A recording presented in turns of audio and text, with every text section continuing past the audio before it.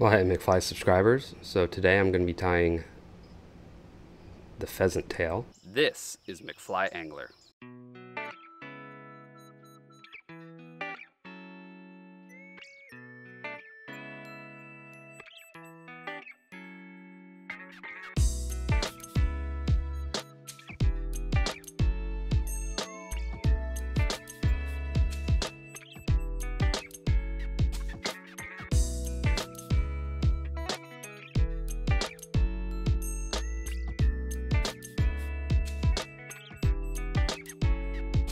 Starts now.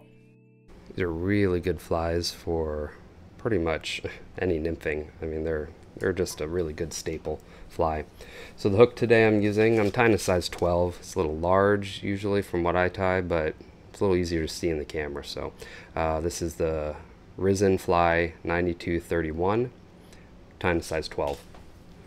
And the thread is Veevus 10 okay, in brown.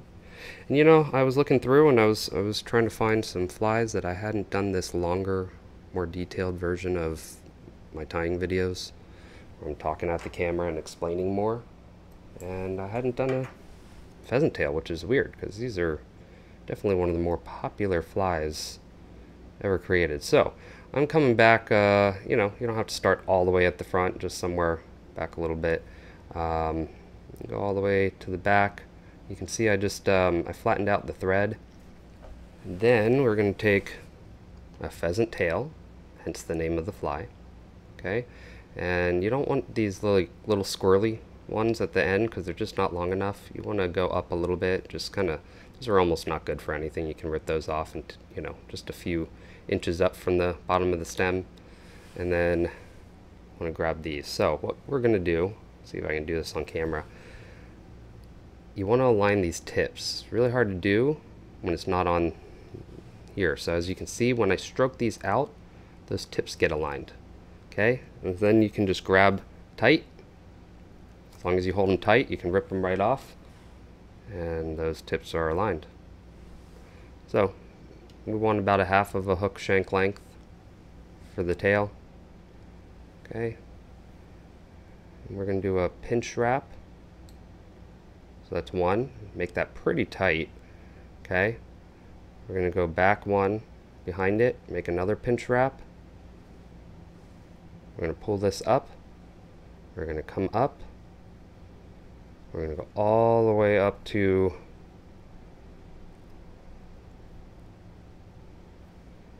about a third of the way down. Okay.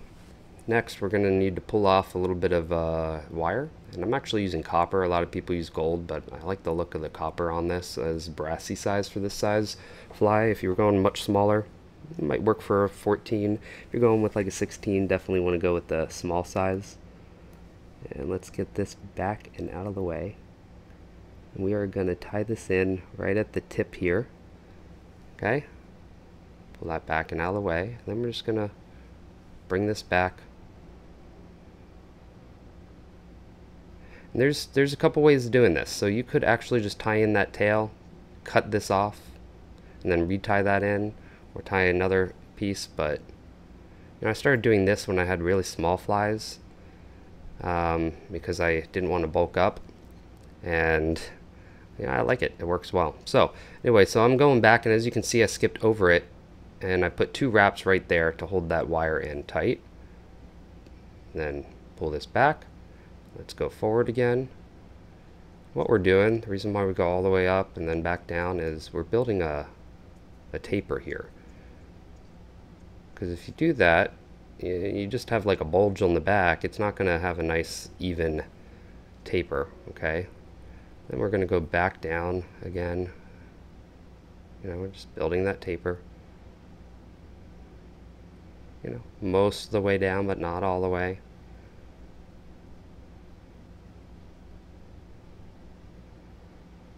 Okay. Oh, what happened there? Alright. Back down one more time here. Not, you know, a little, a little less than all the way down, and then we'll go back up. And that, you can see, built a little bit of a taper. Now, this is uh, fragile stuff. So I paint a little bit of super glue on here. And you want to take these and you want to kind of stroke them out a little bit. You want to try to keep them from twisting too much. Give it a nice even wrap. As you get up a little further, you know, you could put put your finger there to kind of hold it to make sure it doesn't unravel. Or you could use some uh, hackle pliers if you wanted. All right. So, as you can see, I'm holding it there. I'm just going to go, I'm going to twist that thread. Oh, having some of this unravel on me.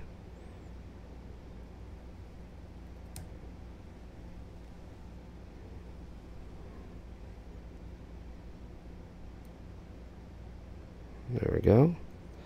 And then I'm going to try to come up under it like so. Oh, oh, oh.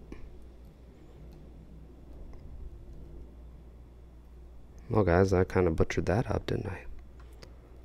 Make sure everything's captured properly. Kind of hard to see in the camera lens, I'm going to be honest.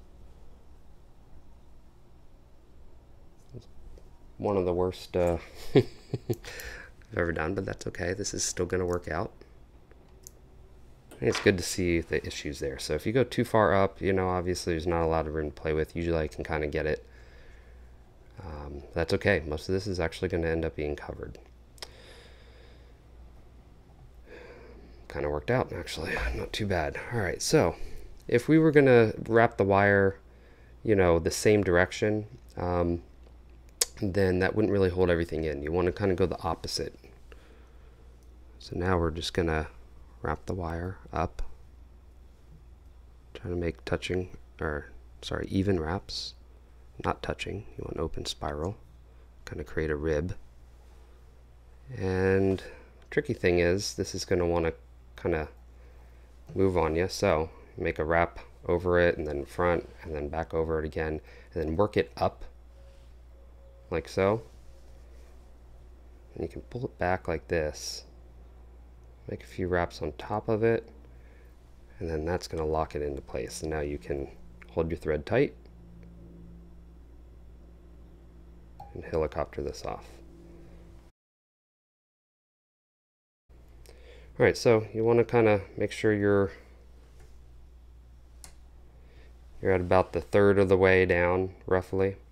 Then we are going to take a turkey tail. By the way, all, all these materials will be in the description section of the video.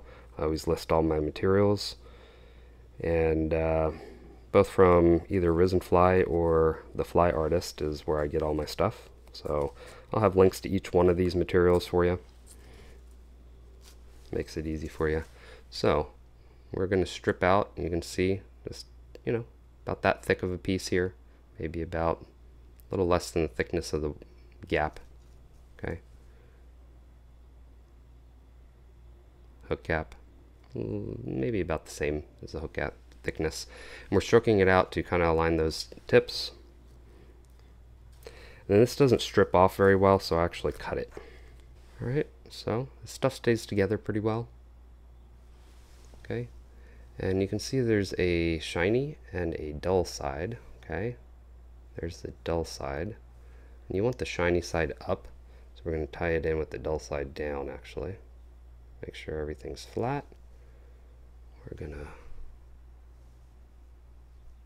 lay this directly on top.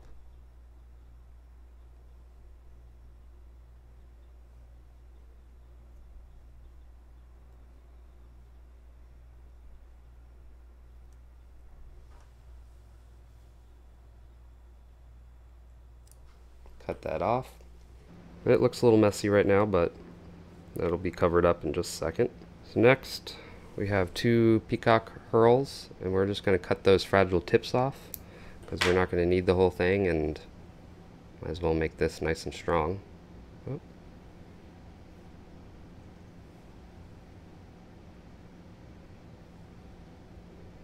Tie that back. Okay. And again, like I said, you want to, might be helpful, especially when you first start to kind of pull these up and see how long that wing case is going to be. Okay, and if you want, you can always work all this back to bring that wing case back a little further if you want, which I will. I like a pretty long wing case. Alright. So next we're just going to start wrapping this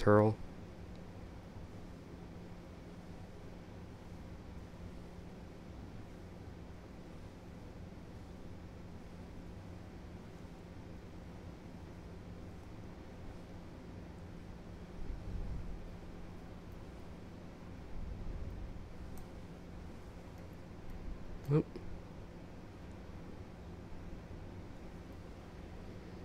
So I went over it and then back that way, made a couple wraps over it that way, and I can just kind of rip that right off. Makes for a clean and quick. Don't have to get the scissors out. So next, I've got this. It's a whiting hen hackle, but really any hen. Um, this is a cape actually. Okay, as you can see, any hen cape should work. Uh, black, brown. I like brown. Um, so these feathers are a little longer, which I like. As you can see, I've already tied one with it. I've got quite a bit more feather to work with.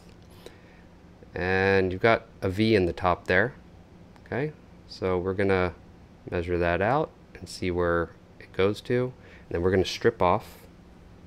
I'll show you in a second what that looks like. Like so. I'm gonna lay that directly on top.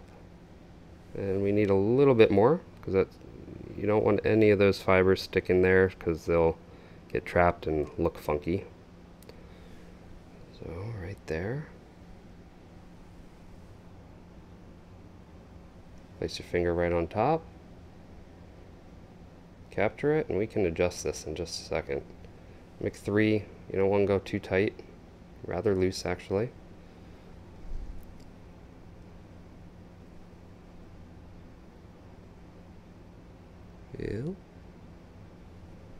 Let's retie that in. I don't know what happened there.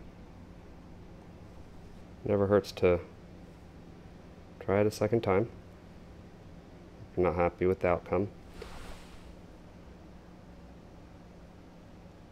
Oh.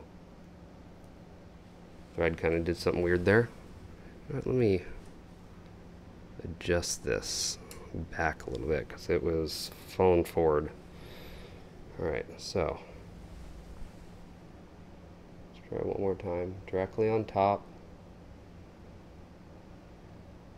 Like three loose wraps. There we go. It came out right. And then we can pull this up over.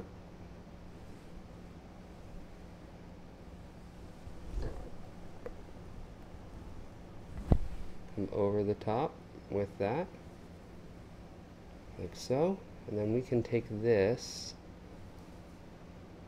we can pull these back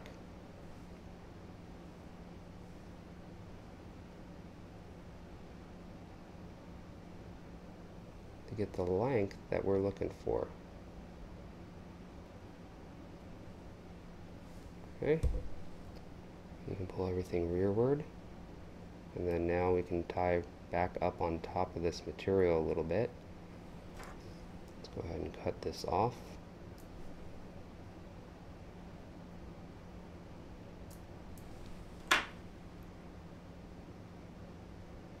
Form a little head.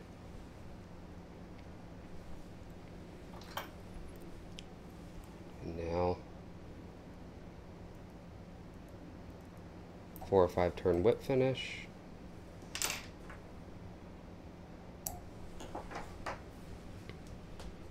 There we go. Now, just for the final, I really like to do something different. So this is Solarez ultra thin.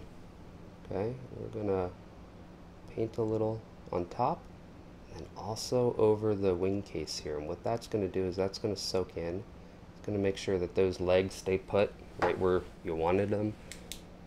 We'll cure that with a uh, with the light, and there we go. That is done. And that leaves that a kind of drier um, wing case finish. Okay. Now, if you wanted to do a second coat, you could. I'll show you what that looks like. Pretty cool looking, actually. You can see that kind of gives it a